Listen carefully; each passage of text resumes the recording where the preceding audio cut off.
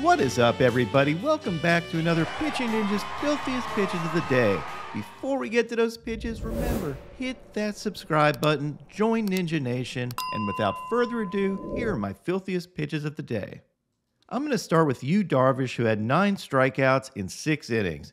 As always, he had a nasty slider, but he really relied on his fastball this game, both in terms of pinpoint location with his four seamer and getting some wicked movement with his two seamer.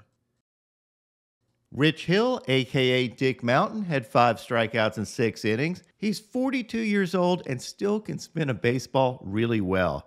His curveball has over 18 inches of horizontal break, which is second in baseball, and the vertical drop on his curveball is also second in baseball among pitchers with over 300 curveballs. Yep, that curveball's still filthy, but he also touched 91 miles an hour with his fastball.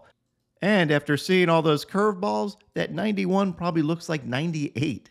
Here's an overlay of Hill's fastball and curveball, and you can see the velo difference between the two and the way they approach the plate. Speaking of older pitchers, here's a great Zack Greinke story. This fan gave Zack Greinke a baseball to autograph, and instead of signing it, he turned and chucked it as far as he could. Asked why he did it, he said, for his own amusement. Never change, Zack.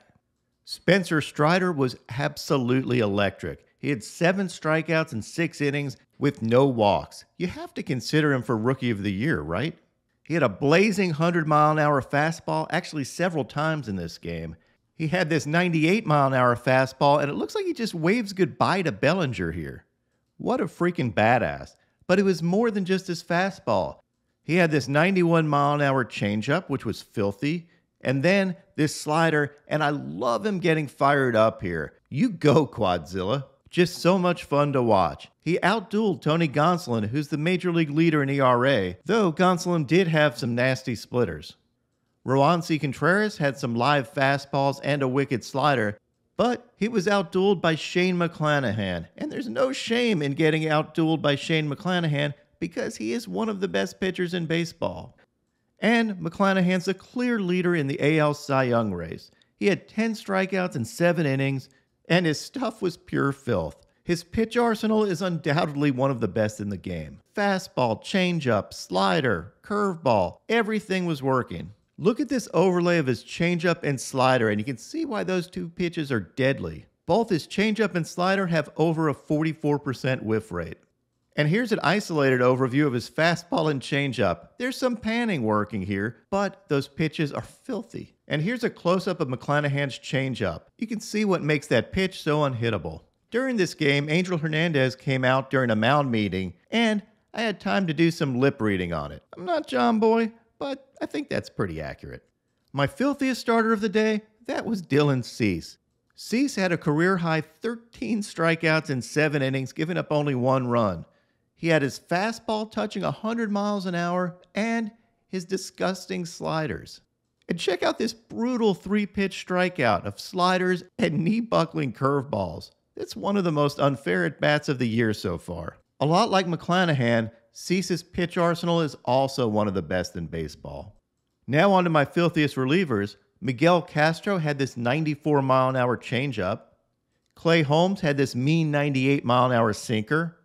Sam Moll had this slider that had 3,391 RPMs. Amazing.